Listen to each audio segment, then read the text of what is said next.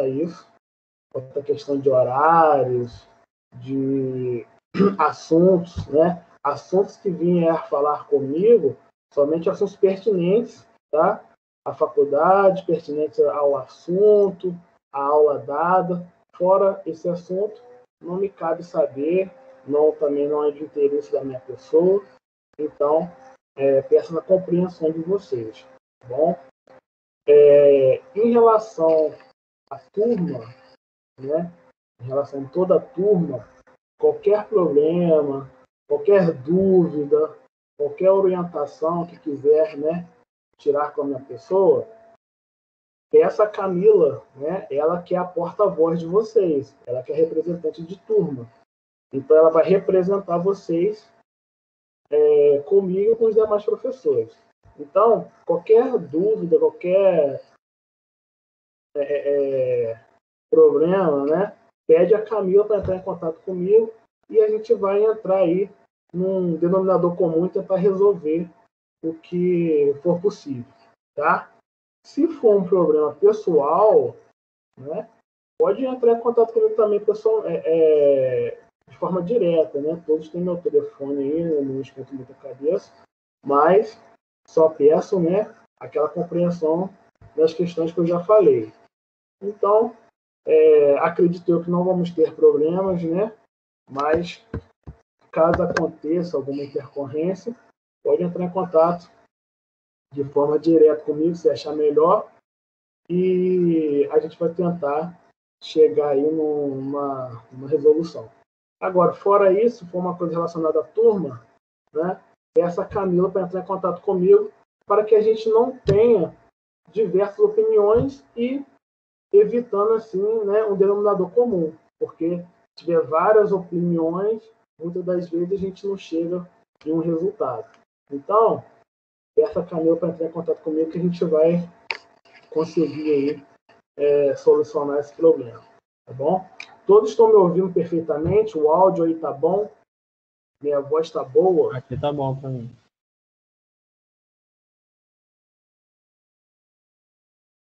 Obrigado, Kevin.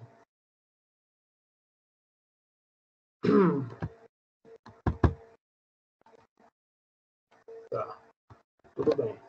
É, isso é um ponto que eu queria falar com vocês. A outra coisa, é, quando eu estiver dando aula e parar e perguntar a vocês, é, estão me ouvindo? É, alguém tem alguma dúvida? Né?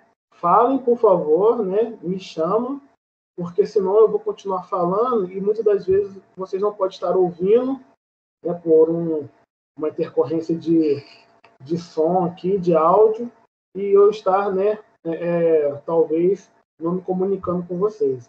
Então, toda vez que tiver uma dúvida, né, e eu perguntar se estão me entendendo, se estão me ouvindo, aí eu peço que vocês é, acionem para mim aí, falem comigo, por favor, para que eu possa dar continuidade na, na explicação. Tá bom? Tudo bem assim? Pô. É... Outra coisa, todas as aulas eu vou disponibilizar para vocês o material de apoio, né, conforme eu disponibilizei no portal e conforme era disponibilizado de forma anterior nos semestres que passaram, tá? Da mesma forma, vou estar disponibilizando aí esse conteúdo para vocês, esse material, quando tiver o material, eu vou solicitar para vocês. Quando for uma aula prática, que houver a necessidade de não é, é, fornecer material de apoio para vocês, aí eu vou estar comunicando a Camila.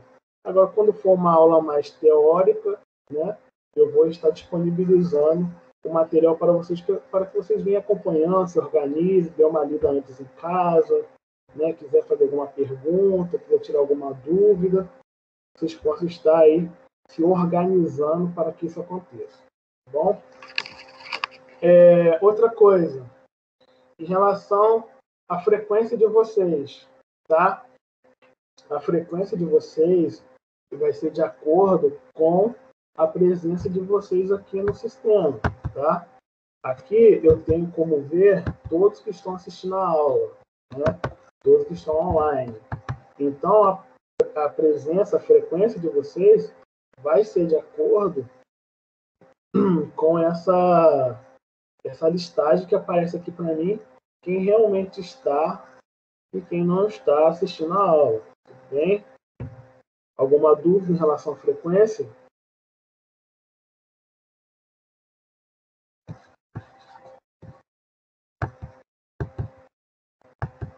Tranquilo, tranquilo. Show de bola. É, eu não vou ficar fazendo chamada no começo da aula ou no final da aula, tá? Isso aí não é o meu objetivo. Meu objetivo é passar o conteúdo da melhor forma para vocês, tá? E eu vou ver quem está presente aqui pelo sistema aparece para mim quem está na sala, quem não está, tá bom?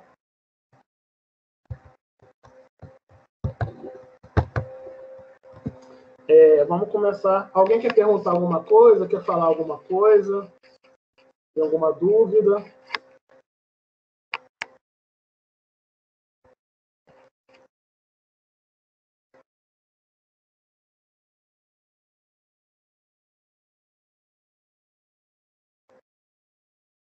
Ninguém quer perguntar nada, não? Tá bom. Outra coisa que eu quero perguntar a vocês. É, em relação à turma, é, tem alguém com nome igual na turma? É, o mesmo nome? Eu acho que não, né?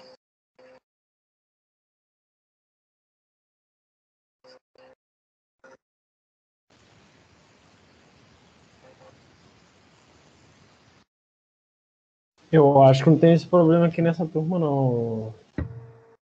Wallace. Show, Kevin, obrigado.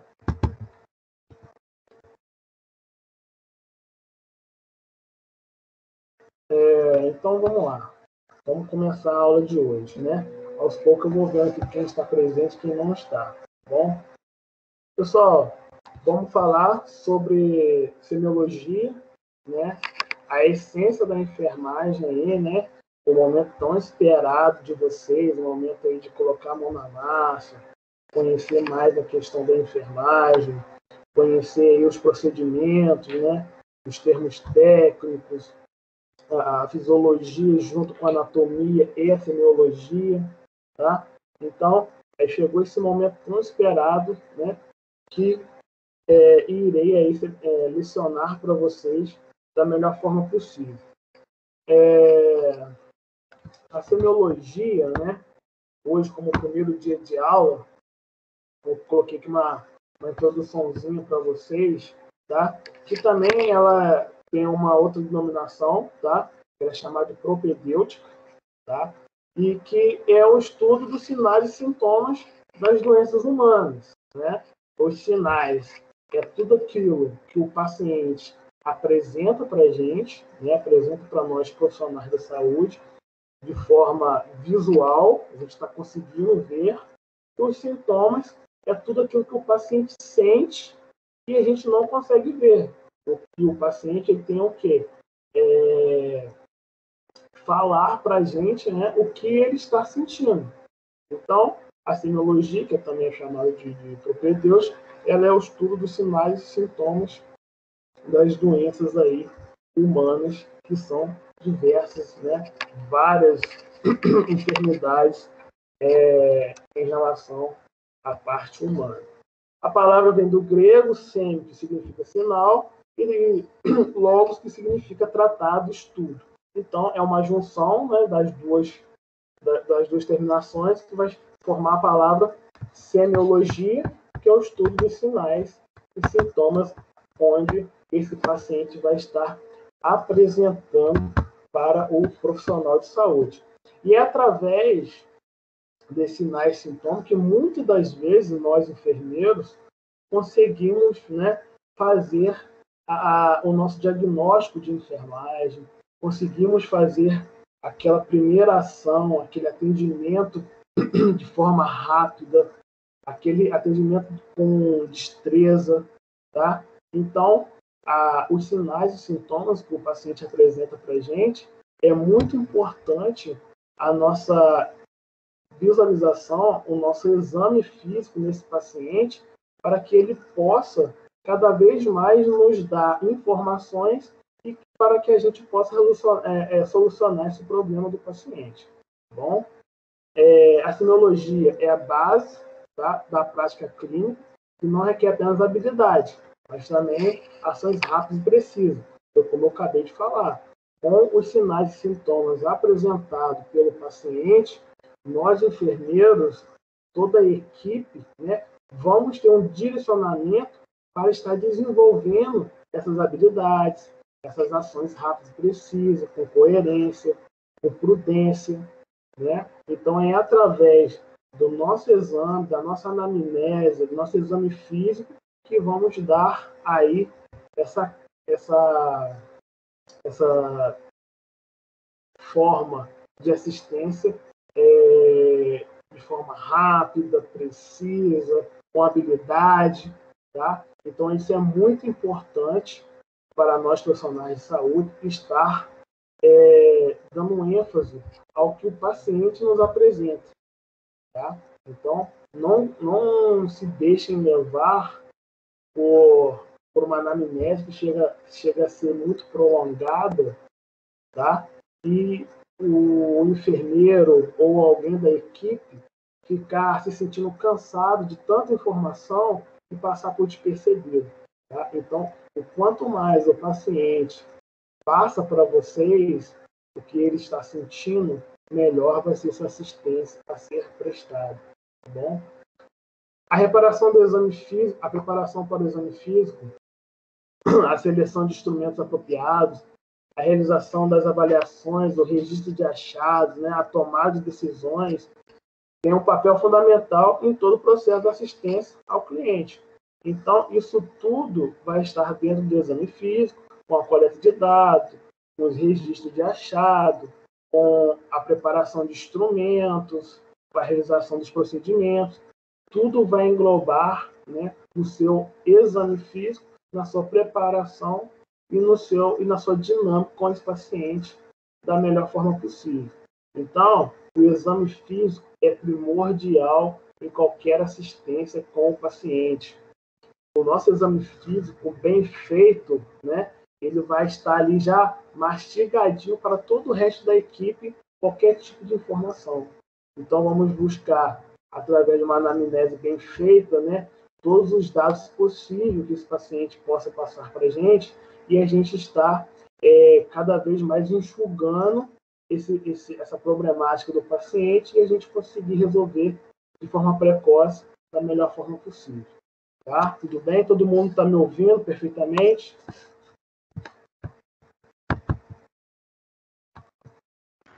Estou sim.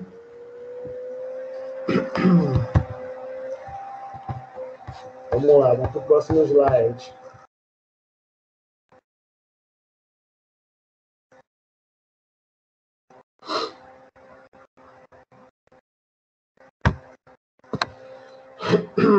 Todos estão com material, estão, estão acompanhando, tá dando para ver aí o material que eu coloquei para vocês.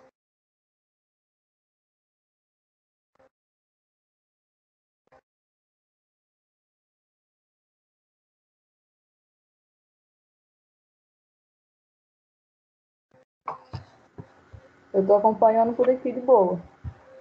Tá, então tá bom então.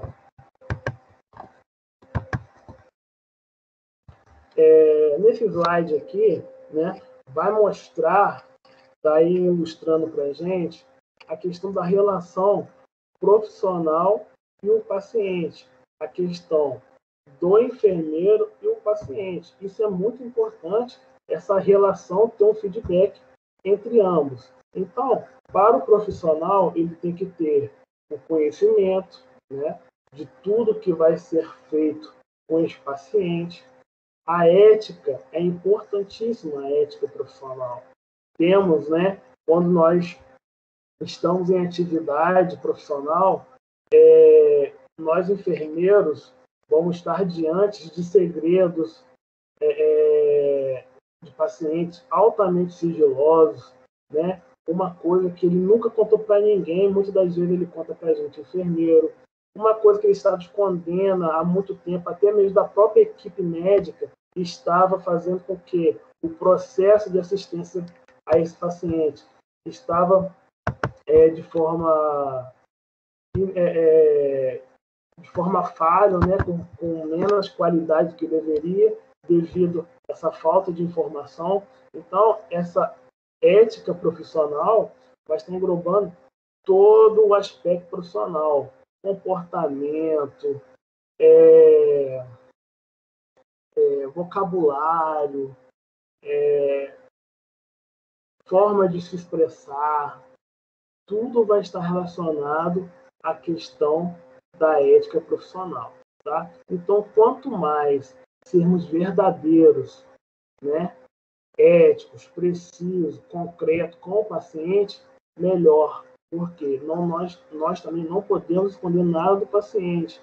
Tá? Então, temos, temos que ser verdadeiros com esse paciente para que ele também possa ser verdadeiro com a gente, com nós profissionais.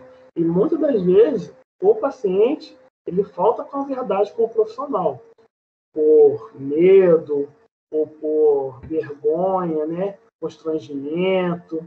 Então, às vezes, é uma coisa que nunca falou para ninguém, ele quer falar para você. Então, você tem que passar essa segurança para o paciente, para que ele possa né, confiar em você e você trocar aí é, é essa confiabilidade com esse paciente. Tá bom, a percepção do enfermeiro tem que estar também em dia, né? Nós enfermeiros somos muitos observadores, muitos é, perceptivos, tá? Não podemos deixar nada passar por é, é, falta de atenção. Então, um barulhinho que está é, fazendo diferente numa enfermaria, por exemplo, um aparelho que está com um cheiro desagradável, com um cheiro de, de, de queimado, com um cheiro de alguma coisa com odor muito fétido, né? O paciente, às vezes, está com uma lesão muito fétida. Então, esse, esse tipo de percepção, né, tanto visual, auditiva, paladar, tudo tem que estar né, é, bem afiado. Tá? Todo enfermeiro é um ótimo observador. Tá? Temos que ser observadores. A técnica, sempre fazer a técnica de forma correta, não desrespeitar os princípios de é, é, esterilidade da técnica, o princípio da própria técnica ser realizada. Então, para isso, para a gente ter essa técnica bem apurada, temos que ter o quê? O conhecimento, temos que ter uma ética de comportamento, temos que, temos que ter um estudo que cai dentro do conhecimento, temos que, temos que, temos que ter a técnica, a destreza manual né, em dia, com os aparelhos, com os instrumentais, tá? Tudo isso está envolvendo uma relação do enfermeiro, um bom profissional de enfermagem, porque para nós sabemos que existem diversos tipos de enfermeiros, existem diversos tipos de médico, de técnico de enfermagem, toda profissão tem isso, tá? Então, a gente não tem que ser melhor do que o outro, a gente tem que ser o melhor para o paciente, tá? Então, saber fazer, fazer com segurança, com prudência, tá? Isso é muito importante para um bom enfermeiro. O diagnóstico de enfermagem, quanto mais rápido diagnosticar o problema do paciente, melhor vai ser a assistência prestada. Quanto mais informação na anamnese, mais rápido você chega no diagnóstico de enfermagem. Quando você desenvolve, né, aquilo que eu falei para vocês lá, a SAI, né, sistematização da assistência de enfermagem, você coloca tudo aquilo em prática, o diagnóstico é mais rápido, a assistência ser prestada é de, é de melhor qualidade, tudo isso está envolvido numa relação profissional-paciente. O tratamento e o prognóstico também caem dentro aí dessa relação de paciente e profissional. É... Aqui, logo abaixo, vai falar, ainda em relação ao profissional-paciente, a questão do marketing pessoal, né? Do seu marketing, de como você se apresenta. Lembra daquele ditado, né? É, é a primeira impressão que fica. Então, você é enfermeiro. chegar para um paciente com traje, com seu jaleco, com a sua roupa branca, toda suja, marrotada, jaleco aberto, cabelo solto, brinco grande, unha pintada, é, é, sapato aberto, calça jeans rasgada. Então, que traje um profissional de enfermagem é esse? Né? Não condiz com a nossa realidade. Então, isso, isso às vezes, o profissional não observa, não, é, não percebe. Mas o paciente, ele está te olhando o tempo todo, está te observando o tempo todo. Sabe por quê? Que é você, enfermeiro, que vai estar cuidando da vida dele. Então, a vida dele, para ele, é muito importante e para a gente também. Então, temos o quê? O traje, o vocabulário, quando for falar, quando for dirigir a palavra ao paciente, sempre chamar o paciente pelo nome, nunca chamar o paciente pelo número de leito, muito menos pela enfermidade do paciente, né? Às vezes a gente escuta, ah, é aquele paciente lá, o CA, o CA de, de próstata, né? CA, todo mundo vocês já sabem, né? Eles estão no, é, é, é, no quarto período, então o CA significa câncer, né? Então, muitas das vezes, vai dirigir o paciente, fala pelo nome da enfermidade. Nunca fazer isso, pessoal. Nunca. Isso não condiz com o vocabulário de um bom enfermeiro. É, ah, vê para mim lá, vovozinha. É, vê a pressão do, do leito 10. Isso não condiz com um bom comportamento, uma relação profissional e paciente, tá bom? Até a locomoção, né? A, a, a locomoção do profissional é, é, no andar, aquele, cada um tem seu jeito, né? Cada um tem sua, sua seu jeito de andar, sua postura, mas dentro de uma unidade de saúde temos que ter o que postura profissional, né? Temos que nada de ficar andando largado, abrindo muitos braços, as mulheres, né? É, é, aquele aquele salto tamanco, né? Desse tamanho para ficar mais alto, fazendo barulho no corredor, traque, traque, traque, traque, incomodando o paciente, muito menos à noite, roupa né, feminina é, é muito apertada, é, barriga de fora, decote, né? Uma coisa que vai chamar a atenção do paciente. Então, evitar esse tipo de traje, evitar esse tipo de postura, porque a todo momento o paciente está te observando e você precisa também ter uma postura profissional, uma ética profissional, né? Tudo isso é muito importante para que a gente consiga o respeito do paciente e não só do paciente. Também não, é, é não deixa de ser tão importante o respeito da sua equipe, tá? O, o respeito mútuo entre a equipe multiprofissional é muito importante para que seu trabalho seja desenvolvido da melhor forma possível. Ok? Todo mundo entendeu? Todo mundo ouviu? Está me ouvindo bem? Sim. Está dando para escutar bem. Tá bom. Vamos dar continuidade aqui. Deixa eu passar o slide.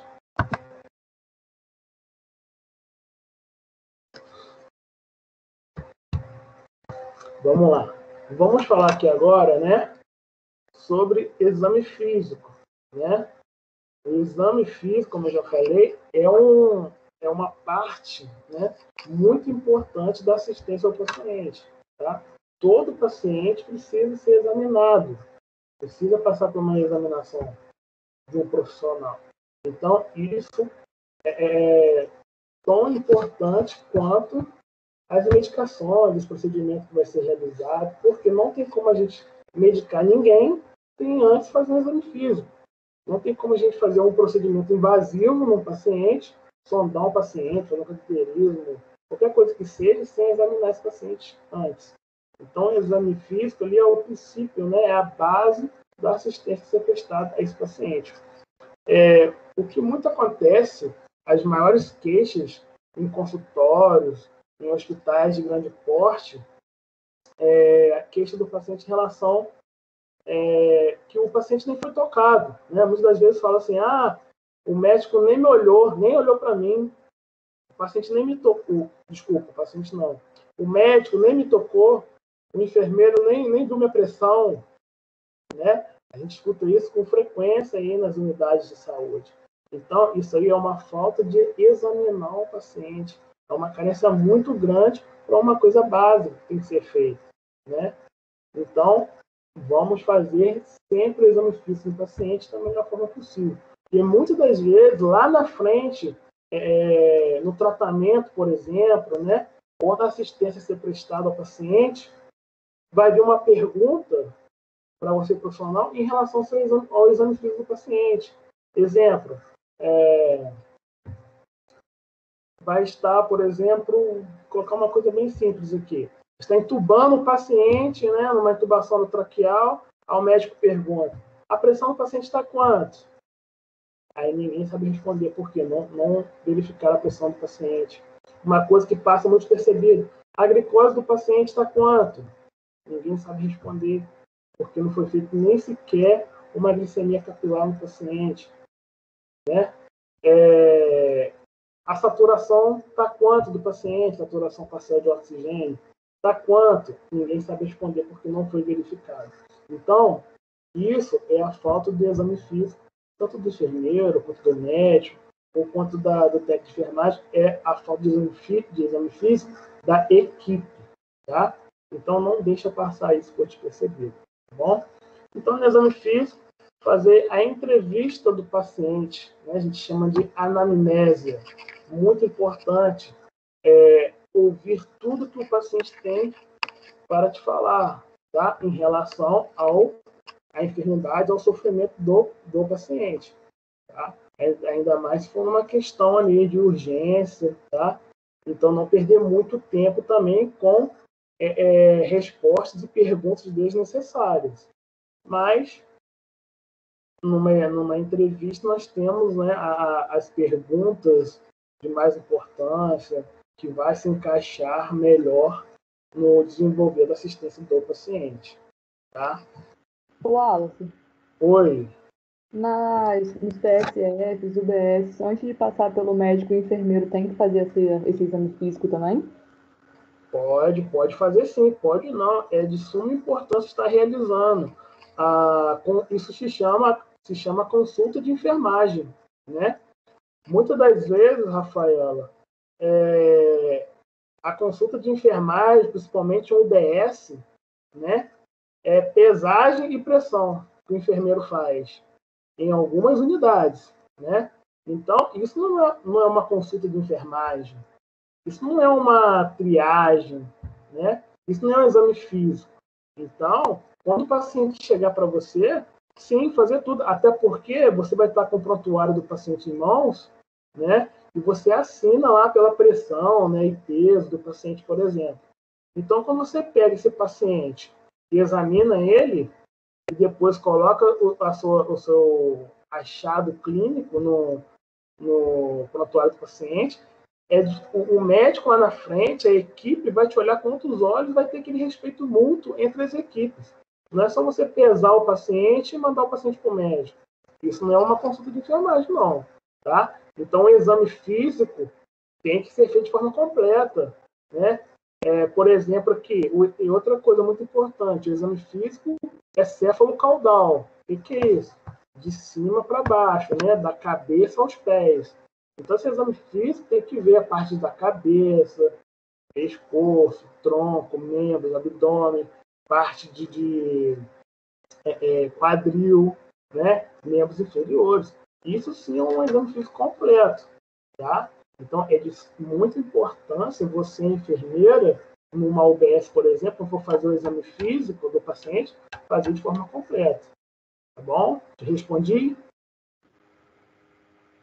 Respondeu sim, obrigado. Nada. É, então, na entrevista desse paciente, né, no exame físico, é, muitas das vezes ali é uma das primeiras coisas que você faz com o paciente, é o quê? É a identificação do paciente, né? Nome, idade, sexo, estado civil. Muitas das vezes, é, esse é o primeiro momento com o paciente, tá? Então, quando for pegar a identificação do paciente, pegar com um documento, né? Com foto, um RG, por exemplo, tá? Não pegar o nome do paciente de forma verbal, né? O paciente te falar e você anotar para fazer o que? Um prontuário, por exemplo. Não, porque existe vários João, várias Marias, né? Então, um com nome como o meu é W2Ls, outro é com L só, outro é com PH, outro é com. Entendeu? Então, tem vários tipos de nomes e a gente pode estar cometendo um erro muito grave na troca do paciente em questão de identificação do paciente. Tá? Então, na hora da identificação, questionar o paciente realmente o nome dele, né? É, pegar um documento com foto, tá? É até um meio de segurança e o próprio paciente ele vai se sentir seguro com isso, tá? Quando você for incisivo, como que é seu nome? Se um documento com foto, por favor. Então isso é de suma importância, tá? Principalmente com criança, né? Quando chega com menor de idade, chega com um adulto, até mesmo segurança para a criança, para questionar realmente se aquela pessoa é responsável pelo aquele menor, tá? E você vai dar confiança aos pais, ao responsável daquela criança, tá? Então, muitas das vezes, a gente não sabe, gente, não vem nada escrito na testa de ninguém. Então, muitas das vezes, aquilo ali pode estar passando por uma por um sequestro, né? Vamos, vamos logo lá numa coisa assim, muito extrema, mas acontece. Já aconteceu comigo, por exemplo. Todo mundo me chama de enjoado. Mas já aconteceu isso comigo e não passou, porque eu questionei. Né? Já uma vez eu atendi, era uma criança, e o responsável não era da família, era uma professora. Né? A criança estava numa escola, mas porém sem uniforme. Então, é, eu fui até elogiado por essa professora devido por vários questionamentos que eu fiz ao responsável da criança, na questão da identificação do paciente. Isso é muito importante. Traz segurança para a gente, profissional, e também para o paciente. Tá? Então, sempre perguntar, saber a idade, né? É, é nome, é, é, estado civil, graduação, tudo, é, tudo isso, gente, tem, tem que estar no prontuário do paciente. Tá? Mas isso está no prontuário do paciente. É se chegar para um, um paciente que perguntar se é casado, se solteiro, do nada, né? Que aí vai se interpretar de outra forma. Agora, por exemplo, no Estado Civil, quando vai fazer uma ficha do paciente, quando vai examinando, fazendo exame físico do paciente, perguntar, às vezes, a questão do Estado Civil é muito importante em relação a algumas enfermidades, né, que aparecem tanto no homem quanto na mulher, isso é muito importante. Então, saber também fazer o questionamento, fazer uma boa anamnese. Tá? Saber qual é a queixa principal, né? o que o paciente tá, está realmente sentindo. Porque às vezes o paciente vai ali, ele está com uma dor, uma cefaleia, por exemplo, uma dor de cabeça, mas ele quer falar lá do, do, do, do vizinho, quer falar, né? Quer falar do, do neto, quer falar do marido, quer falar de uma dorzinha no pé, do mal encravado. Então, você tem que saber a queixa principal do paciente e examinando o paciente aos poucos, tá? E saber fazer essas perguntas e tomar cuidado, né, com os tipos de perguntas que o examinador vai fazer para o paciente, tá bom? O histórico de doença, né, atual e também é, é, doença pregressa, né, passada, saber se o paciente tem alguma doença crônica, se não tem, se faz algum uso de alguma medicação, né, se é alérgico a alguma medicação, isso é muito importante. Saber os antecedentes pessoais, antecedentes familiares, se o pai tem pressão alta, se a avó tinha problema de coração.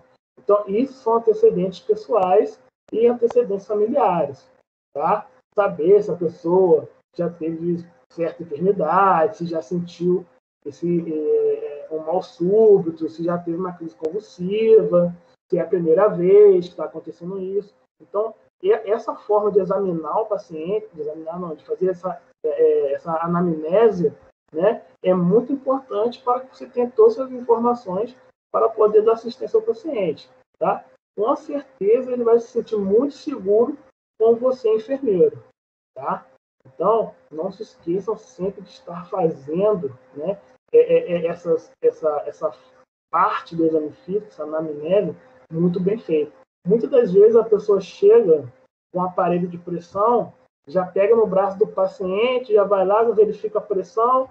Quando verifica a pressão, verifica a pressão toda errada ainda, né? fora da técnica, com o dedo no estetoscópio, estetoscópio virado ao contrário, todo doidado, né? Toda fora da técnica e, e mecânico, né? Como se fosse um robô. Isso vai deixar o paciente totalmente constrangido, vai deixar o paciente inseguro. Ele não vai querer se abrir, não vai querer falar com você direito, né? Não vai querer tomar injeção que dói muito com você. Então, tem que ser o quê? Né? humano, tem que ser holístico, olhar o paciente, né, falar o que vai fazer com o paciente, qual o procedimento que vai ser realizado, qual a medicação que vai ser administrada. Então, tudo isso é muito importante com o paciente. Tá bom, galera? Todo mundo ouvindo perfeitamente aí? Sim. Sim, sim. Sim. Show de bola. Vamos lá, vamos dar continuidade. É, mas as regras aqui básicas também para né, é, é, fazer, estar realizando aí o exame físico, beleza? A primeira regra, né, isso aí é protocolo, né, eu canso de falar, não, nem, acho que nem vai precisar mais, mais eu, eu estar falando isso com muita frequência, mas qualquer procedimento que vai estar realizando com o paciente, fazer o que antes e após a lavagem das mãos, né? lavar as mãos antes e, e depois de qualquer procedimento. Ainda mais agora com essa questão de pandemia, né? Todo mundo vai, é, é todo mundo está lavando a mão agora até em excesso, né? Antes essa lavagem das mãos passava por uma coisa despercebida. Então, nos dias de hoje, viu o quanto é importante essa, esse, esse procedimento tão básico, tá? Que é a lavagem das mãos. Então, realizar aí a lavagem das mãos antes e após qualquer procedimento e aqui, como a gente está falando, exame físico. Tá? Explicar sobre o procedimento paciente. É, se está lá, vai fazer uma ausculta pulmonar, por exemplo, tem que levantar a brusa do paciente para né, deixar o, o, diafragma do esteto livre de qualquer vestimenta. Então, você tem que explicar ao paciente, ainda mais se for sexo feminino, tem que levantar a brusa para fazer a ausculta pulmonar, uma ausculta, uma ausculta cardíaca, por exemplo. É você chegar ah, senta aí, vira, deita de, em decúbito lateral e sai levantando a blusa do paciente, despindo o paciente. Não é assim. E muitas das vezes a gente vê isso, tá? O paciente muitas das vezes está acamado, está sonolento, não está né, respondendo, não está lúcido orientado, é, é, o, o, examinador vem assim, de qualquer jeito, de forma mecânica, e vai lá e levanta e constrange o paciente. Não, não é assim não. Tá? Tem que ter toda a calma, explicar o procedimento do paciente, respeitar a privacidade do paciente é muito importante. Para fazer um procedimento, um cateterismo vesical, por exemplo, vai passar uma sonda nesse paciente. Quantas das vezes eu já vi passando sonda sem colocar um biombo, né?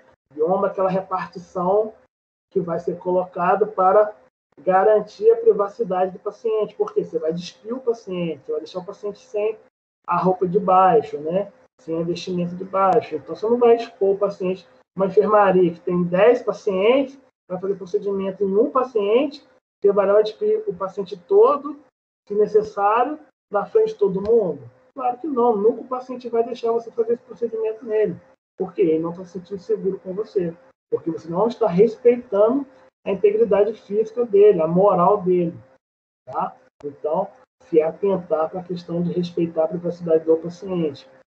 A iluminação adequada, né? Vai pegar uma veia, por exemplo, uma iluminação fraca, uma iluminação amarelada, é muito difícil, né? Você está visualizando aí uma veia do calibre desejado para fazer esse procedimento. Um paciente é, é, obeso, então, pior ainda, né? Que dificulta ainda mais o acesso. Então, você tem uma iluminação, né? ter o ambiente ali é, é, favorável para o procedimento realizar, né? Isso é muito importante. Realizar o exame físico, como eu já falei, céfalo-caudal. O que, significa céfalo-caudal? Da cabeça para os pés. Eu não posso fazer meu exame começar na barriga do paciente, para depois tocar no rosto do paciente, né? Se for o primeiro instante, o paciente está te questionando, você está conversando com o paciente, faz o exame físico. um paciente como um todo. Não é porque o paciente está com dor abdominal que ele pode deixar de ter algum problema, né, alguma enfermidade também na cabeça, algum corte na cabeça. Quer ver? O paciente chega e fala assim, ai, eu caí de bicicleta, né? Um exemplo. Eu caí, uma hipótese. Eu caí de bicicleta, bati o guidão, bati o, o, o abdômen, a barriga, né? Você podia falar a barriga. Bati a barriga no guidão, tá doendo muito a barriga. Então você vai logo, né? Direciona o exame físico somente para o abdômen do paciente e esquece das outras, das outras partes do corpo. Quando vai ver, o paciente está com um corte contuso na cabeça sangrando, você não viu ainda. Né? O paciente precisa fazer uma sutura que você não viu ainda. Então, examinar o paciente como um todo. Tá bom, galera?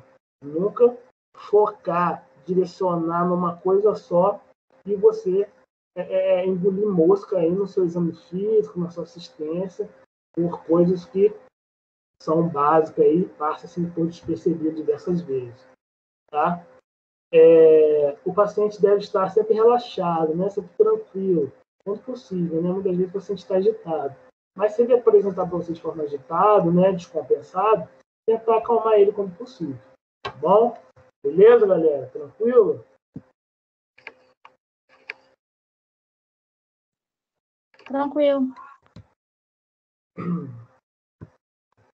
Tá bom, vamos dar continuidade aqui.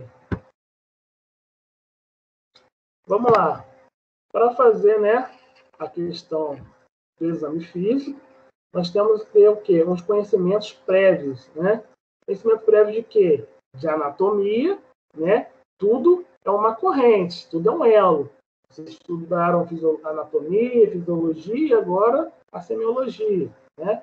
Então, quando você, por exemplo, for palpar é, o abdômen do paciente, você tem que saber que área da parte abdominal você está tocando, né? Se é a região hipogástrica, hipergástrica, hipocôndrio, cristilíaca, vou fazer uma ausculta cardíaca no paciente. Você tem que saber aonde passa o tronco pulmonar, onde passa o, tronco, o arco aórtico, onde tem a válvula tricúspide, onde tem a mitral. Vai fazer uma ausculta pulmonar. Tem que saber onde é base pulmonar, ilho pulmonar, face costal. Tudo isso tem que saber para estar realizando o quê? O seu exame físico da melhor forma possível. Por quê? Quer ver um exemplo muito, muito assim, né, banal? É, o examinador vai, faz uma, um exame físico né, nesse paciente, vai fazer uma palpação no paciente, uma palpação abdominal, por exemplo. Faz uma palpação abdominal, porque o paciente está questionando de dois dias sem evacuar e está doendo muito a barriga. Né? E ele não sabe é, direcionar essa dor. Então, você vai fazer seu exame. Aí, você fez o exame, uma palpação, e o paciente referiu dor em, em colo transversal, por exemplo. Aí, na hora de colocar no papel, o que, que é colo transversal? Aonde que fica isso? Que você vai colocar? Paciente referiu dor na barriga, né? Que exame, que evolução é essa que um enfermeiro graduado estudou cinco anos, né? Colocando isso no papel? Absurdo, né? Não pode, fica feio. Porque o prontuário ali é comunicação com o seu colega de trabalho. Aí você vai eh, se refere de forma por escrita no prontuário do paciente dessa forma, né, vai demonstrar que você não é um profissional com qualidade. Você não está inseguro na sua, no seu trabalho, você não está sabendo o que está fazendo. Porque o abdômen ele tem diversas partes. Né? Então a gente tem que referenciar, ser concreto, ser claro, ser incisivo né, na hora da realização do exame físico, na hora de qualquer procedimento. Então, temos que fazer sempre da melhor forma possível, para que não possa haver dúvida, duplo entendimento, duplo sentido.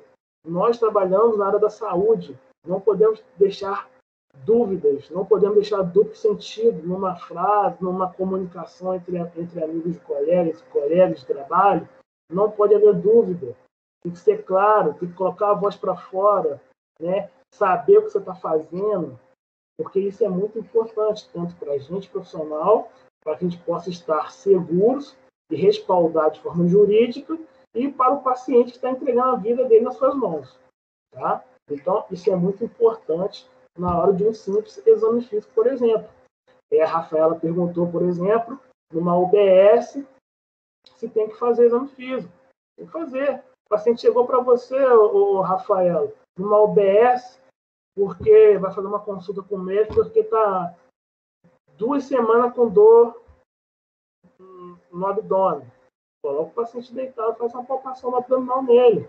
E passa o paciente para o médico, referindo já aonde o paciente está sentindo dor, em qual área abdominal, é inflante, é hipogástrica, é mesogástrica, se é palpação profunda, se é palpação superficial, a percussão, se você fez ou não, entendeu? Então, isso é muito importante, tá?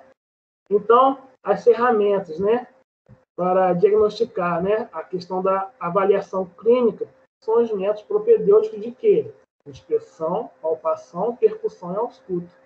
Então, o exame físico se baseia nisso, nos métodos propedêuticos. Os métodos propedêuticos subdivide em inspeção, paciente, o profissional vai estar olhando, né, observando, a palpação, o nome está dizendo, né, o paciente vai tocar, o, enfermeiro vai tocar, a percussão também vai tocar, né, vai querer emitir som, né, que diversos órgãos fazem tipos de som diferentes um do outro, e a ausculta pulmonar, o paciente vai trabalhar com estetoscópio, né, através de uma ausculta, tá? Então, isso é muito importante para a questão do exame físico, beleza?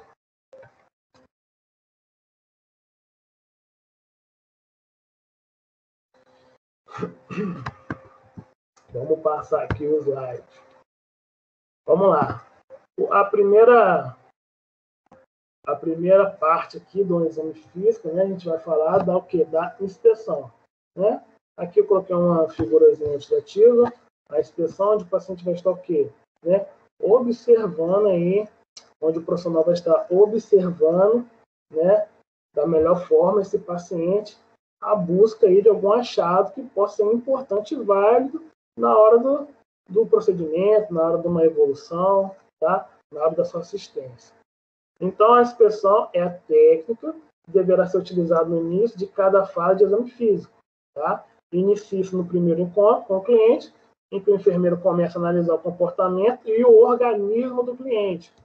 Por exemplo, vai verificar a simetria dos olhos, né? ver se os olhos estão na mesma direção, a coloração da pele, distribuição de cabelo, movimentos físicos, é...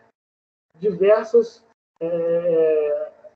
coloração de, de, de, mucosa, né? A mucosa fica esbranquiçada, fica rocheada, tudo isso, gente, né, é muito importante na hora do exame físico. E você vai, olha só quantas, quantas informações a gente consegue ter somente com uma inspeção. Ó, simetria dos olhos, distribuição de cabelo, é, coloração de pele, coloração de mucosa, sudorese fria, agitação. Tudo isso a gente consegue estar visualizando no paciente. Então, utilizando seus conhecimentos, né, adquirindo experiência, o enfermeiro poderá tornar sensível aos indícios visuais. Então, cada vez que você vai desenvolver uma inspeção em um paciente, né, você vai ficando mais o quê? Mais sensível, né, aos indícios visuais. Quando o paciente chegar sentindo falta de ar, o que, que o paciente apresenta para você como sinal que está com falta de ar? Né? O paciente fica como? suando, né? Sudorese, pele fria e pegajosa, fica agitado, batimento de asa de nariz, movimentos intercostais, uso acessório da musculatura, né? Tudo, olha só, tudo isso que eu falei, o paciente está com falta de ar. E porque você fez o quê? Uma simples observação.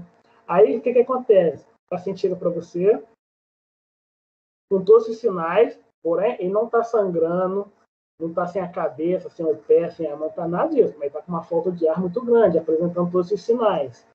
Então, esse paciente senta numa cadeira e você está aqui, ó, tranquilo, né?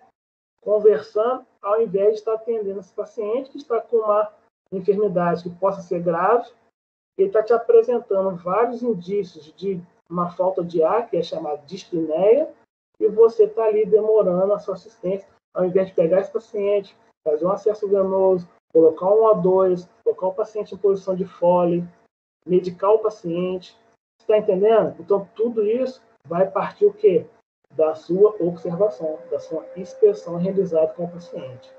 Todo mundo está entendendo isso, pessoal? Sim.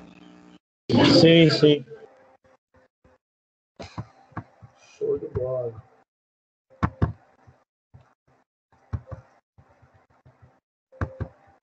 Beleza.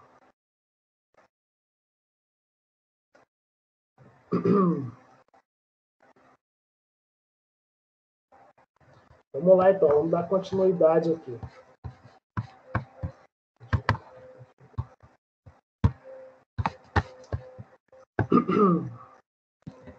Vamos lá. Nessa observação toda, né, nessa inspeção que o, paciente, que o enfermeiro está realizando, o que, que o enfermeiro né, tem que se atentar aí nesse paciente quando ele está fazendo seu exame físico, lá, sua, sua, sua entrevista com o paciente, está examinando, está fazendo anamnese, tudo isso aí na hora, uma hora, isso aí, gente, eu estou falando de forma, né, repartida, um por um, mas muitas das vezes é tudo junto, né? Eu estou fazendo uma palpação, estou observando, então é tudo muito rápido, tá? Mas estou aí separando devagarzinho, coisas por coisas aí a ser falado para vocês, para que depois a gente possa englobar tudo numa assistência só, tá? Então, o que observar aí ah, nesse paciente?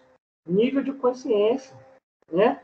Primordial, nível neurológico. O paciente está né? Ele está legal, ele está respondendo você de forma legal, ele está falando com você de forma é, coerente. Você pergunta a ele, bom dia, ele fala que não quer café.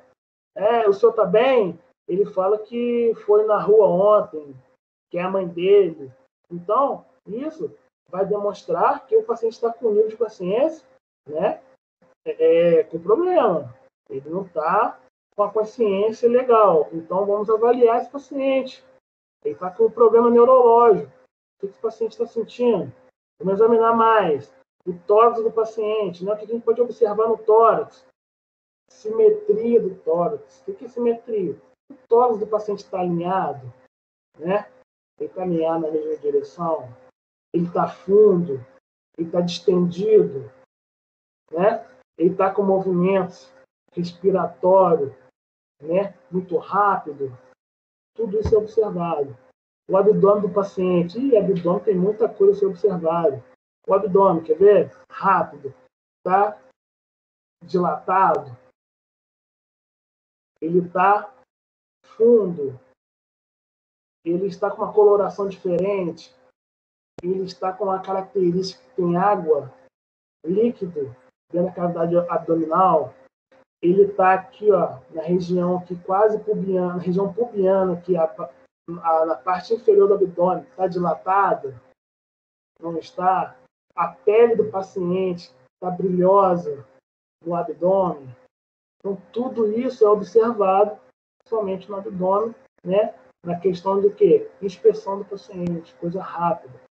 O estado de hidratação do paciente, como falei, mucosa. A mucosa está ressecada, aquela boca descamada, tá com aqueles olhos sem vascularização, você olha a mucosa do olho do paciente, está aquela mucosa esbranquiçada, né? não está aquela mucosa vermelhinha, a boca está roxa, está esbranquiçada, o peso, o paciente está caquético, está desnutrido, baixo peso. Então, tudo isso a gente vai estar observando. A questão inflamatória, questão de infecção, muito importante, a gente vai falar, eu vou falar muito nisso para vocês. O paciente está com uma ferida, por exemplo, na perna, uma ferida horrível, né? Sinais logísticos, né? O que são sinais logísticos? Característica disso, uma característica de um processo inflamatório, um processo infeccioso. Ao redor está vermelho, está quente, está com edemaciado, está inchado, a pele está esticadinha, brilhosa, está descamada. Então, isso são sinais flogísticos, sinais de infecção. Tem secreção? Não tem? Está com odor fétido, né? mau cheiro? Tudo isso a gente vai estar é, é, é visualizando. Né? A pele, né? Tem mais coisa para ser observado. Está com uma pele de coloração arroxeada, né? toda arroxeada, cabeça, né? Está amarelado, o paciente está amarelado, está com os olhos amarelos, está com a pele amarelada, dando dizer outra coisa, que a gente chama de quê? Icterícia, né? Quando a paciente apresenta a pele arroxeada, é, é, cianose, né? Quando o paciente está com uma, uma cor pálida, né? O paciente, a pessoa fala, você está pálido, você está branco. Qual o termo técnico para isso? Hipocorada. Hipo de baixo, cola, é, corada de coloração. Então, hipocorada, né? Está tá pálido, está esbranquiçado. Normocorado, normo de normal, corado de coloração. Então, está normocorado. O que quer dizer normocorado? Está com uma coloração normal. Tá, ó, legal a coloração de pele dele. Né? Palidez e hipocorado são sinônimos, é a mesma coisa. Bom, então, tudo isso é observado somente na expressão do paciente. Né? Muito importante a gente estar avaliando céfalo caudal do paciente. O paciente está rocheado, né? Tá, ó, observação. Matando a charada. O paciente chega agitado. Sudorese fria e pegajosa. Batimento de asa de nariz. Uso acessório da musculatura para respirar. Agitado e com cianose, o paciente está o quê? Está com uma falta de ar grave, né? A gente está até com uma síndrome respiratória aguda aí. Então, só, só olhando para o paciente, só olhando para o paciente a gente consegue resolver muita coisa. Então, o, o bom enfermeiro tem que ser o quê? Um ótimo observador. Não é ser fofoqueiro, não, né? Tomar conta da vida dos outros, não. Mas é ser o quê? Observador. Né? Olhar ali, ó, seu campo de visão quase que tem que ser 360 graus. Até o que está atrás você tem que olhar. Então, o bom enfermeiro tem que ser um excelente observador. Tá bom, pessoal? Beleza? Todo mundo me ouvindo aí legal? Estou falando rápido demais. Tá lento, o som tá bom, tá tudo legal aí, tá tranquilo? Tudo beleza. Tranquilo.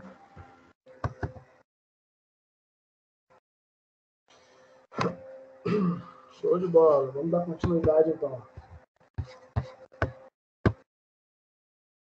Vamos lá. Agora a gente vai falar o quê? Da palpação, né? Palpação é outra técnica, né? Outro método propedêutico do exame físico a ser realizado para a gente estar diagnosticando no paciente e buscar achados clínicos, né? Então, essa palpação é uma técnica utilizada, né? Para obter dados por meio do tato, né? por meio do toque e da pressão. A palpação permite o quê? A identificação de modificação de textura, espessura, consistência, sensibilidade, volume e dureza. Tudo isso permite o quê? Na palpação. Então, vou tocar o abdômen do paciente. Vou observar se o abdômen dele está mais consistente, está mais endurecido. Vou observar se está sensível. Quando eu toco, ele refere dor. Quando eu faço uma palpação superficial, ele queixa de muita dor. A textura de pele, né? Está tá escamosa, está lisinha, está fina, né? O volume abdômen, tudo isso eu vou observar o quê? Na palpação, tá? Então vai permitir aí a percepção de flêmito, flatulência, elasticidade, edema, tudo isso eu vou perceber na palpação. Ou seja, líquidos flutuantes, gases, elasticidade de pele, é, fezes, se a fezes está endurecida, se não está, tudo isso aí, se tem bolo fecal, né? A gente fala, a gente chama de bolo fecal. se, tá, se é palpável aí numa, numa palpação mais profunda, se é capaz de sentir, diagnosticar aí é, é essas fezes endurecidas, tudo isso na palpação. Tá? A gente tem uma palpação superficial, uma profundidadezinha de um centímetro, uma palpação mais profunda, né? Atingir órgãos mais internos, uma profundidade de 4 centímetros. Tá? Isso aí vai depender da força que você vai exercer sobre o abdômen do paciente. Beleza? É, variações da palpação. Né? Nós vamos ter diversos tipos de palpações nesse paciente. Tá? Palpação com a mão espalmada, usando-se toda a palma da mão, né? uma das mãos. Então, quando for palpar o paciente com a região espalmada, com a mão né, inteira aqui ó, no abdômen do paciente. Pode ser superficial ou pode ser profundo. Vai depender da profundidade que você vai exercer, da força que você vai exercer sobre o abdômen. Palpação com uma das mãos sobreposta à outra. Normalmente se utiliza para fazer uma palpação profunda. Você quer fazer uma palpação profunda, de 4 centímetros, atingir mesmo órgãos mais internos. Vai colocar uma mão sobre a outra e vai fazer uma palpação mais profunda. Tá? Palpação com a mão espalmada, usando apenas as polpas digitais e a parte ventral dos dedos. Uma palpação profunda, usando somente né, os dedos, a polpa digital, né, as pontas dos dedos. Beleza? É... Palpação usando polegar indicador em forma de pinça, né? Normalmente a gente palpa dessa forma para ver turgor de pele, elasticidade da pele, tá? É, palpação com o dorso dos dedos, né? E das mãos para é, avaliar a temperatura. Você vai tocar no paciente com o dorso da sua mão, dos dedos, verificar a temperatura, né? Um movimento aí que todo mundo faz, simples demais, né? Ah, para ver se o paciente está quente, está com febre. Há um tipo de palpação. É, palpação de expressão realizada com a polpa do polegar e indicador. Consiste na compressão de uma área com o objetivo de pesquisador, detectar edema, pressão avaliar e a circulação cutânea. Vai ver se o paciente está com edema na perna. Apertar o polegar ou com o indicador, né? Fazer aquela palpação profunda na perna do paciente, né? Na parte anterior aqui da perna, para ver se tem algum edema. Então, temos vários tipos de é, é palpação para estar examinando esse paciente, tá? Ponto pressão, utiliza-se um objeto pontiagudo, né? Não cortante, em um ponto do corpo para avaliar o que? A sensibilidade dolorosa do paciente. Muitas das vezes a gente vai no pé do paciente e faz esse tipo de palpação para esse paciente estar é, para avaliar né, a questão da, do nível de sensibilidade desse paciente. Tá? Muitas vezes a gente faz esse exame com o paciente pré-diabético. É, fricção, vai fazer o quê? Pegar lá ó, com uma mechazinha, né? Roçar, é, é, passar ali, ó, esfregar sobre a pele, né? De forma devagar, suave, para verificar o quê? Também a questão da sensibilidade, da forma tátil, se o paciente está sentindo, está tocando com a mão inteira, com a ponta do dedo, tá suavemente. Isso aí o paciente vai é, te falar dependendo do tipo de palpação que você vai estar realizando. Tá? Então, tem vários tipos de palpação, várias formas você estar avaliando a questão de palpação aí nesse paciente e te dando aí vários achados clínicos. Pode ter certeza certeza que você fazendo um, um exame físico com toda essa qualidade, com toda essa paciência, tocando o paciente, observando, vai ser muito melhor essa assistência prestada ao paciente. Com certeza, não tem nem, não tem nem dúvida sobre isso, tá? Isso aí é comprovado cientificamente, clinicamente, em pesquisas, tudo é, é com resultados satisfatórios. Tá? Vamos lá. Então, aqui está ilustrando para vocês algum tipo de, algum tipo de palpação, né? Olha, palpação com a ponta do dedo, com a mão espalmada, em forma de pinça, né? Palpação com a mão sobreposta. Então, olha o tipo de palpação. O tipo de palpação de forma digital, com as pontas do dedo, a gente pode simplesmente fazer o quê? Verificar é, o pulso, como ilustra essa figura né, pequena aqui, é, verificando o pulso que é radial, né? o dedo indicador e o médio sobre a artéria radial. Nós temos uma mulher fazendo um toque da mama, né, com o polegar e digital aqui, também fazendo uma questão de palpação em forma de pinça, como mostra nessas outras duas ilustrações, no abdômen do paciente. Temos aqui essa outra ilustração com uma mão sobre a outra, né, de forma espalmada, porém mais profunda. Pode ver que ele exerce uma pressão maior no abdômen do paciente. Temos a primeira lá com as duas mãos, pouco utilizada, mas também é com a mão espalmada, tocar toda a parte abdominal. E tem outro tipo de palpação, que é uma palpação com a mão contralateral. Você coloca, por exemplo, a mão no lado direito do, do abdômen do paciente e com a outra mão do lado esquerdo do abdômen do paciente. E você vai tocar ali nas duas partes de forma ali, né, é, é, é no mesmo tempo, tá? Com as duas mãos, você vai estar tocando tanto um lado do abdômen do paciente quanto do outro lado, tá? Também é um tipo de palpação.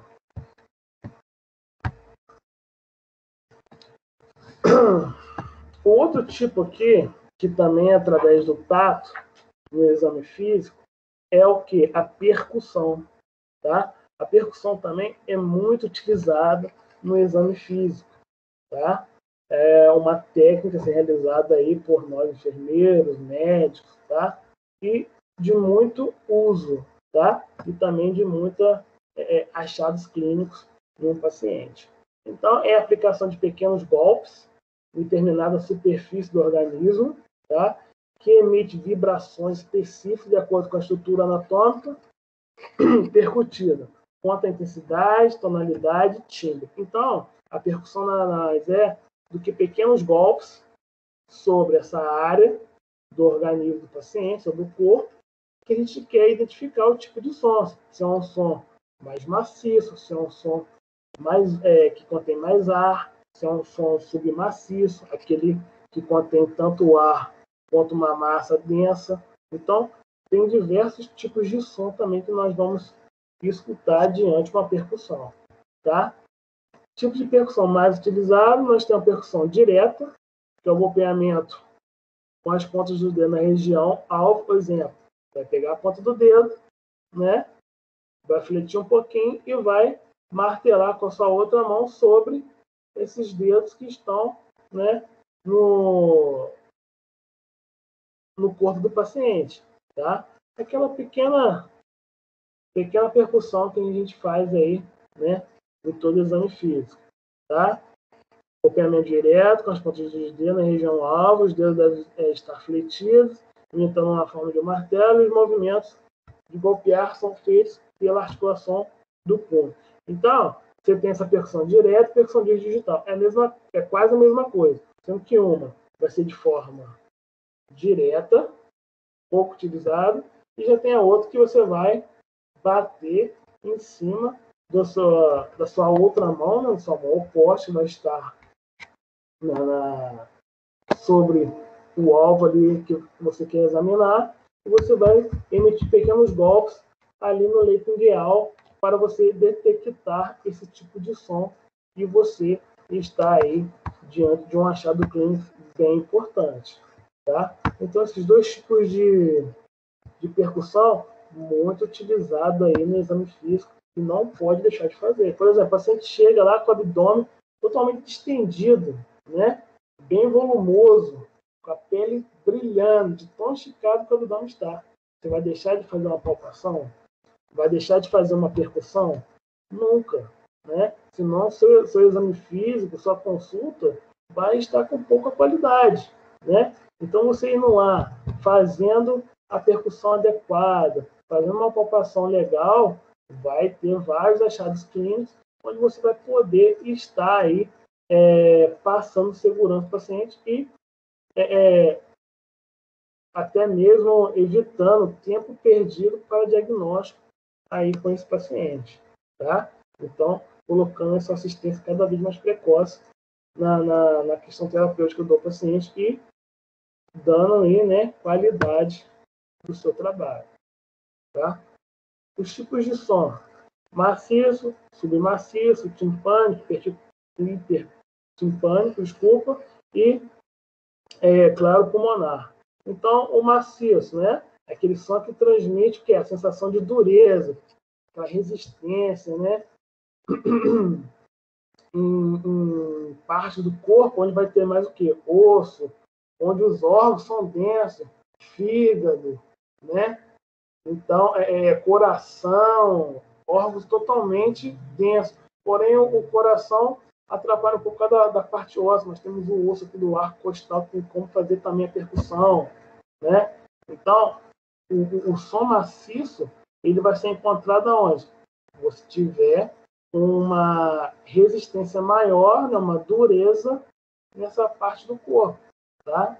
O fígado, por exemplo, o fígado ele é denso, né? é um, é um tecido, né, todo denso, diferente de quê? Diferente do estômago, por exemplo, que é oco, diferente das vísceras intestinais, diferente do pulmão, por exemplo. Tá? O submaciço é uma variação do maciço né, e a presença de ar em pequena quantidade, que lhe confere essa característica peculiar. Então, ele vai ter ali uma questão também de dureza, né, de, de resistência, uma sensação de, de, de maciço, porém também tem ar nessa parte. Então você vai ouvir uma, uma coisa mais suando, né? Na percussão, você vai perceber que também tem, além da parte resistente, da parte maciça, também tem a presença de ar nesse órgão, tá? O timpânico, obtido em, regi em regiões que contém ar, né? É, é, recoberto com membrana flexível, né? Estômago, por exemplo, o estômago é todo, todo oco, né? Tem aquela membrana, que é a, a questão do estômago, e aquela presença de ar dentro dele. É a questão também do som timpânico aí que você vai conseguir identificar tranquilamente, como também nas vísceras intestinais, da mesma forma. Hipertimpânico também, tanto é, é, no estômago também se consegue, e também no, no, nas vísceras ali na questão do abdômen. Contém ar em grande quantidade, né? E, por exemplo, o abdômen, né? Acúmulo de gás, o paciente está com aquela aquele abdômen dilatado, né? Você vai fazer a, a, percussão, você só escuta ar. Então, é um, é um tipo de som na percussão que a gente chama de hipertimpânico, tá? O claro pulmonar é obtido quando se percute uma área sobre os pulmões e quando estão normais, né, com presença de ar dentro dos alvéolos, ou seja, aquela, aquele órgão grande, né, o pulmão, onde tem grande também quantidade de ar, mais questão pulmonar, tá bom? Então, tranquilo, né, a questão de percussão, fácil de fazer, não precisa de um instrumento, com a própria mão, o enfermeiro, o médico vai estar ali realizando esse exame físico de suma importância para a questão é, é, terapêutica do paciente. Tá? E a gente, dificilmente, a gente vê aí essa, essa técnica sendo realizada no dia a dia com os pacientes. Tá? Mas vocês, a partir de hoje, qualquer paciente que cair na mão de vocês, por examinar, né, fazer essa questão do exame físico, tá? Céfalo-caudal, exame físico completo, escutar o paciente, tocar no paciente, tá? É, é, fazer perguntas ao paciente, olhar o paciente de, do pé à cabeça, tudo isso vai ser obrigação de vocês agora, tá? Vamos lá. Evitar o quê? muitos golpes seguidos para confirmar o som, pois é, pode interromper a onda vibratória e alterar o som emitido. Ou seja, se está com dúvida, não ficar golpeando no mesmo lugar, né? Frequentemente, porque você vai emitir várias vibrações que vai é, alterar aí esse tipo de som. Então, teve dúvida, espera um pouco, examina outra coisa e depois você volta e examina novamente, tá? Em órgãos simétricos, como os pulmões, é preciso realizar a percussão comparada. Gente, coloca uma coisa na cabeça de vocês. Tá todo mundo me ouvindo perfeitamente aí? Tá tranquilo? Sim.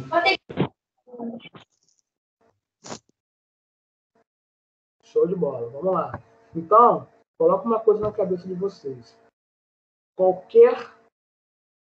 Pode até anotar isso aí, escrever. Qualquer é, é, órgãos que sejam simétricos, qualquer parte do corpo, né, que sejam simétricos, vocês têm que avaliar os dois. Exemplo, pulmão. São dois pulmões. Então você vai auscultar esquerdo e o direito. Vai percutir o esquerdo e o direito. Os braços. O paciente tem os dois braços, examina os dois. O esquerdo e o direito. Direito e esquerdo. Tem que avaliar os dois. As pernas, os dois. O rim vai fazer percussão no rim, faz nos dois rins. Né? Então, quando os órgãos for simétricos, né, ou os membros, parte do corpo tiver né, a questão de simetria, avalie sempre os, dois, os olhos. Né? Vai fazer avaliação de nível de consciência, vai olhar um olho só? Não, tem que olhar os dois, comparar os dois. Né? As pupilas. Né? Então, sempre fazer essa comparação. Beleza? É, ainda na percussão, nós temos punho, percussão, né? Com a mão fechada, golpear o quê? A borda cubital, utilizar para ficar a sensação dolorosa o quê? Dos rins. Então, você vai fazer um soquinho, né? Fechar a mão aqui, ó, punho aqui, ó, cerrado, né? Fechar a mão e vai para essa parte aqui, ó, ó, devagar, né? Vai devagar sobre a região do rim do paciente e vai dar um soquinho, né? Para ver se o paciente vai se. Gente, se o rim estiver dolorido, o paciente vai pular de dor. Se ele estiver sentado, ele vai pular, vai querer sair de tanta dor que vai sentir. Então, é uma, é uma palpação, né? Uma, desculpa, uma percussão é legal, tranquila, tá? Então, é, é, nada de forma exagerada, né? Tomar cuidado com isso. Tá bom? Percussão com a borda das mãos. Os dedos ficam estendidos, né? E unidos, golpeando essa região desejada com a borda ulnar. Tá bom? É o tipo de percussão. Tá? E o outro tipo aqui de percussão também é por piparote, né? Eu utilizo para pesquisa de ICIT, que também é um tipo de percussão lá, como eu estava falando, é parecido. Uma das mãos, examinado golpeia um lado do abdômen né? enquanto a outra mão fica contra a lateral recebendo a vibração. O que, que é isso? É palpar um lado e o outro lado. Um lado do, do, do abdômen vai fazer o golpe, vai dar um tapinha. E você vai sentir a vibração no outro lado do abdômen com a sua mão espalmada. Então, tipo de percussão também por piparótica é o nome. Tá bom? Também muito utilizado aí em paciente que está com ascite, né? Aquele acúmulo de líquido aí na cavidade abdominal. O paciente fica com, a, com o abdômen bem estendido mesmo, né? Bem grandão assim, com aquele acúmulo de líquido, onde vai ter feito uma drenagem, tá? E procedimento médico é realizado, mas essa percussão pode ser realizada pela gente. Esse exame físico, fazer a percussão de piparote, tá? Muito legal. Mais para frente a gente vai estar fazendo isso aí pessoalmente, se Deus quiser. Tá bom? É... Alguém quer perguntar alguma coisa? Quer falar alguma coisa? Ninguém perguntou nada ainda. Tá devagar. Só a Rafaela, né, que perguntou. Alguém quer falar alguma coisa?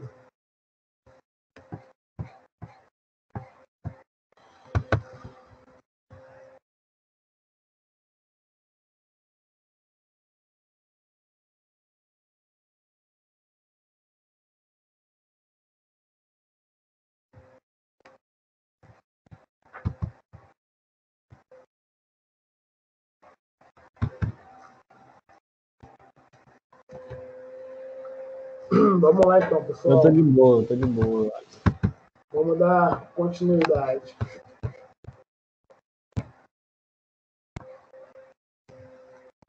A ausculta, né?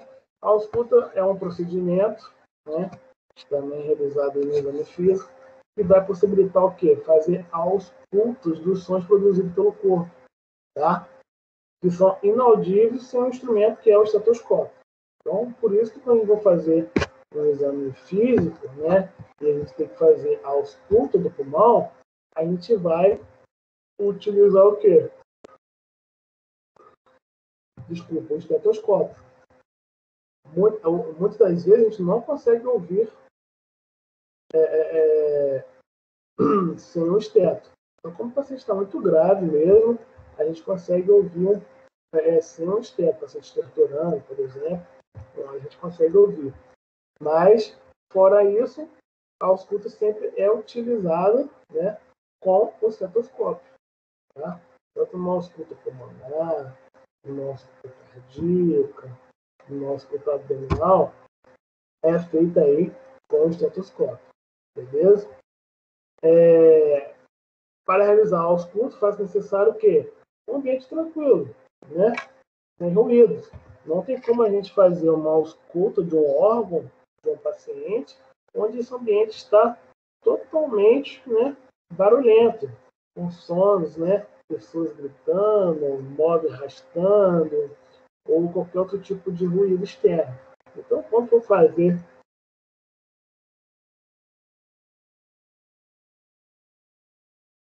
quando for fazer esse exame, procurar manter sempre o ambiente em silêncio para que não haja dúvida né, no seu exame físico. Isso é muito importante. Tá? O estetoscópio deve ser colocado sobre a pele né, nua, ou seja, sem vestimenta. Ah, pode ser o melhor esteto. Colocou sobre uma vestimenta, vai diminuir a sensibilidade detectada pelo aparelho.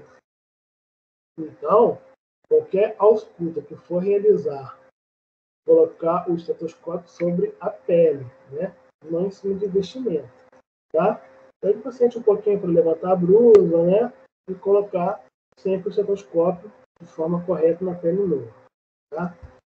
Durante a ausculta, deve ser observado o quê? As características dos sons, né? como intensidade, a duração e a qualidade do som.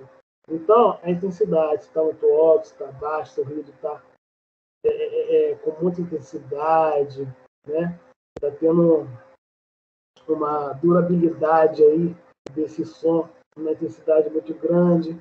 Qual é a qualidade desse som, se você está ouvindo perfeitamente, não está, tem algum ruído que está te atrapalhando, deixando alguma parte duvidosa.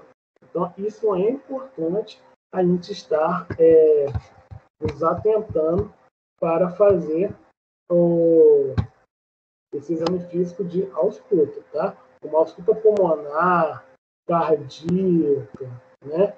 A, a cardíaca, então, que é mais, né, mais complicado um pouquinho. Então, ter um ambiente bem, né, bem salubre, né, com, com silêncio adequado, evitar aí ruídos, né, que venha deixar dúvidas sobre o seu exame. Então, sempre que for realizar, já não é uma coisa muito fácil para você estar diagnosticando os tipos de som. Isso tudo é o que? Prática, né? estar realizando com frequência, estar estudando os tipos de som. Isso é muito importante. E com o tempo, a gente vai ficando mais sensível né, ao som produzido que vai ser obtido aí pela, pela, pelo nosso exame. Então, estudar os tipos de som, ouvir num ambiente tranquilo, né, com silêncio, evitar aí qualquer tipo que possa colocar em dúvida o seu exame físico, tá bom?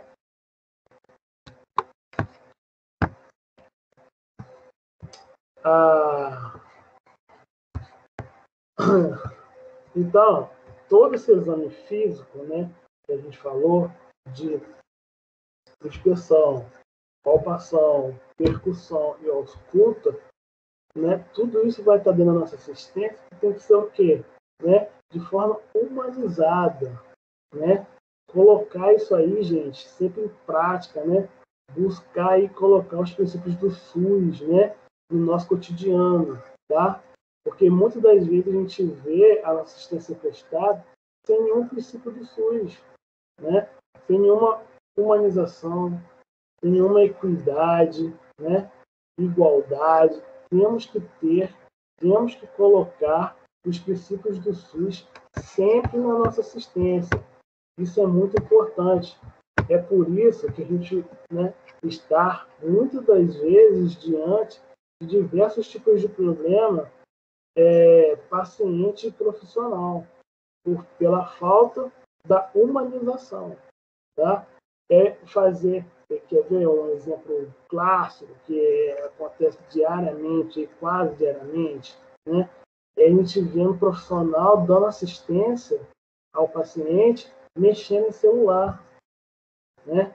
É o profissional dando assistência, conversando com o colega sobre a vida alheia de outro colega.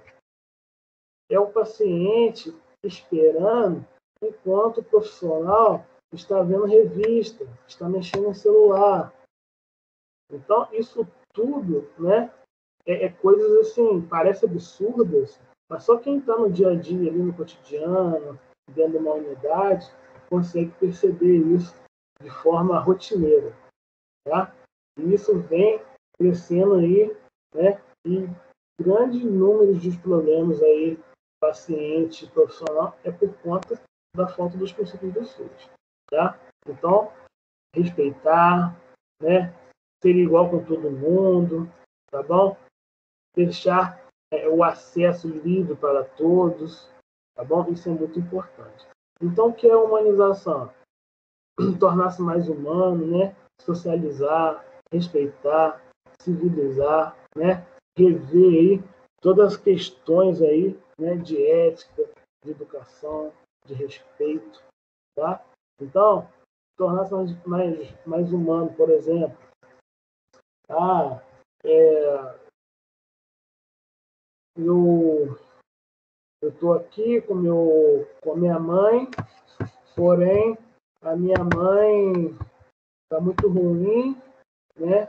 E eu queria dar um beijo na minha mãe, um último beijo que eu vou dar nela. Proporciona esse momento para o pro, pro filho, proporciona esse momento para o paciente, quando possível, tá, gente? Isso aí é quando possível, tá? Torna esse momento aí o último às vezes, né, é, para esse paciente, às vezes sentir a presença do ente querido, né, isso é muito importante. É, às vezes o paciente quer te contar um segredo e nunca contou para ninguém. Às vezes um casal, né, tá lá há 50 anos junto e no seu momento final ele quer abrir com alguém, então, às vezes, muitas vezes a gente é psicólogo também, escuta muito o paciente, né? Socializar com esse paciente, conversar com esse paciente. Não é, não é, eu quero que vocês entendam que tem que também evitar a questão de vínculo afetivo com o paciente. Não é você ter um vínculo afetivo com o paciente, nunca devemos ter. Mas é você se colocar no lugar do outro naquele momento tão difícil. Tá? Isso é muito importante no nosso trabalho. Podemos ser o melhor profissional, saber de todas as técnicas, teorias, conteúdo teórico, e no, ter, e ser humano, e no ser ético, no ser respeitador, no ser verdadeiro. Então, isso é, é o princípio do ser humano. Né? A gente não precisa estudar para saber isso. Então, precisamos sempre, sempre e sempre tornar aí um paciente, um, um profissional mais humano, tá bom? Coloque isso na cabeça de vocês e vocês vão ver coisas absurdas, né? E depois vocês podem vir para mim e falar, poxa, professor, o que, que é isso? Que coisa absurda! Isso não pode! E vocês vão lembrar de tudo que eu estou falando aqui com vocês hoje. Então, esses momentos, né, tem que ser respeitados. Tá? A gente vai ver coisas absurdas, vai ver coisas que a gente não desejaria que fizesse com a gente. Tá? Então, eu falo para vocês para que quando vocês chegarem lá na frente, e tiverem todo bonitinho de branco, de jaleco, vocês não se contaminarem e buscarem o mesmo caminho dessas coisas absurdas que a gente vê aí no nosso dia a dia. Tá bom? Então, tornar aí a questão da política nacional da humanização cada vez mais presente aí no nosso cotidiano, no nosso serviço de saúde. Tá bom? Uma coisa muito importante em relação a ser mais humano, humanização, respeitar, socializar, é ter respeito né, com as coisas sagradas. Nós trabalhamos com saúde, trabalhamos com pessoas, então existe um número diversos de pessoas, um número diversos de crença, de religião, de cultura, né? Então temos o quê? Que saber respeitar o lugar do outro, saber respeitar a criação do outro, a religião do outro, a crença e a cultura. Eu, por exemplo, né, já aí passei por diversas experiências em relação de crença, religião cultura, coisas que me deram medo tá? e coisas que fizeram minha fé aumentar. Então, eu peço a vocês, né, quando vocês estiverem no ambiente de trabalho de vocês, vocês possam se lembrar disso, né, do professor A, sei lá, de não sei quantos anos atrás, que falou isso para mim questão de respeitar a questão religiosa, né, a questão da crença e da cultura. Tem religião, por exemplo, que não permite hemotransfusão, por exemplo, não transmite o paciente receber um sangue, né? Tem religião que não permite a, a questão de é, ai meu Deus, como que se fala? Perdi o, esse nome aqui. É, receber, né? o órgão de outra, de outra, de outra pessoa, uma doação de órgão, por exemplo. Tem religião que não permite isso, né? Tem cultura que não se pode fazer isso, porque senão você vai estar ofendendo a questão dos princípios desse paciente, tá? Tem pessoas que têm a crença que se você fizer o que é para ser feito, para ele é uma coisa absurda. Eu nunca poderia nem tocar nesse assunto com o paciente sobre isso. Então, esses tipos de situações sagradas que iremos nos deparar né, nos estágios e na vida profissional de vocês tem que ser respeitado. Isso é importantíssimo, isso é direito do paciente. Tá? Nós não podemos fazer nada com o paciente quando ele não permite. Tá? Ou ele vai permitir, ou alguém legal de responsabilização pelo paciente vai autorizar ou não. Se não autorizar, não podemos invadir essa privacidade do paciente. Tá? Se for feito isso, é característico de crime. Então, não podemos desrespeitar essa vontade, esse desejo essa questão religiosa, essa cultura do paciente. Sempre fazer somente os procedimentos onde for autorizado pelo paciente ou uma pessoa de direito legal responsável pelo paciente. Tá? Já me deparei com situações que foram desagradáveis para o bem do paciente, porém a religião do paciente não permitia.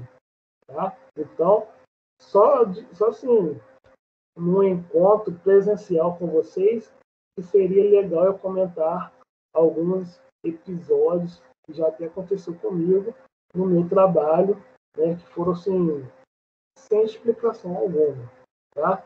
Mas a todo momento, sempre respeitando as coisas sagradas. Tá bom, pessoal? É... Todo mundo tá me ouvindo legal aí? Sim, tá dando para escutar. Show de bola, show de bola. Pessoal, em relação à aula de hoje, né? Primeiro eu vou pedir a vocês que ninguém, ninguém saia da, da, da sala, só para eu ver quem está presente aqui, para eu anotar aqui, para depois não ter problema. Tá? Deixa eu ver aqui.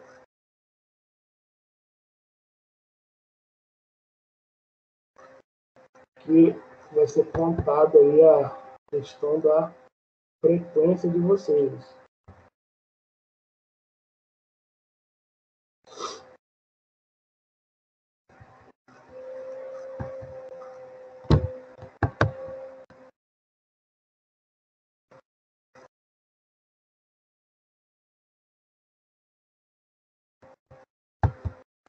Alguém quer perguntar alguma coisa, quer fazer né, algum questionamento?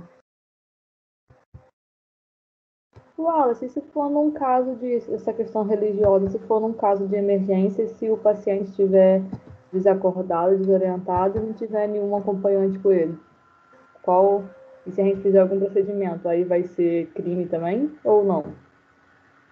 Então, Rafaela, no momento de emergência, quando o paciente não tem condição de responder por si e não tiver nenhum familiar responsável legal pelo paciente, nós, equipe, iremos realizar o procedimento que irá salvar a vida do paciente.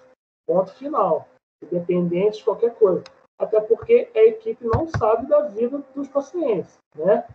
Caso o paciente, depois de estabilizado, alto, se sentir ferido a questão de sua religião, crença cultura, pelo procedimento que foi feito, ele quiser vir é, julgar a gente, equipe profissional, e quiser levar isso a um tribunal, ele pode. Ele pode levar, claro. Mas vai caber ao juiz depois determinar a causa, se a gente agiu com respeito, dignidade, respeitando os princípios da ética e da moral da concepção até a morte.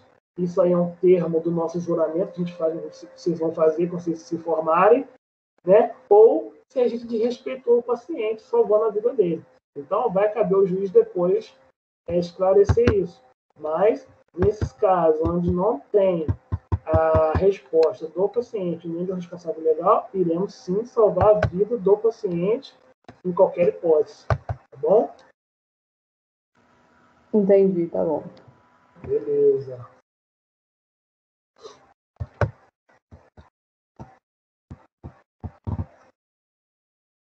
Alguém mais quer perguntar alguma coisa? Eu não, eu, eu tô tranquilo. A minha dúvida era essa daí que a Rafaela já tirou aí.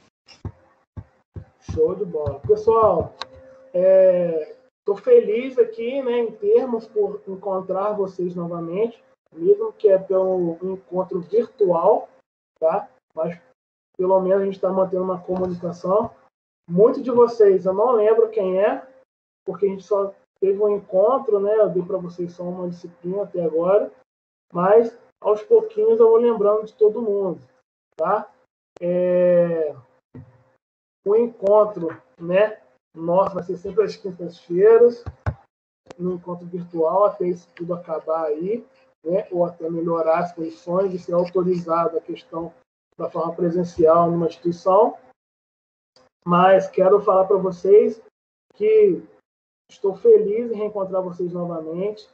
Qualquer coisa, só falar com a Camila, né, que é representante de turma de vocês, e irei tentar aí resolver qualquer tipo de intercorrência que se vier a acontecer, tá? É... Quando, né, agora tem um maior número de pessoas aqui, quando tiver algum intercorrência, algum problema, se for pessoal, pode entrar em contato direto comigo, tá? Porém, só respeitar o horário, né, os dias, ter uma certa coerência, porque para não ter um desentendimento tá? Para não ter uma falta de respeito, tá? Porque já teve alunos ligando quase que de madrugada para mim, né, por uma coisa que eu nem poderia resolver, tá? Então, mesmo se estiver desesperado, calma, fique tranquilo, que a gente vai resolver.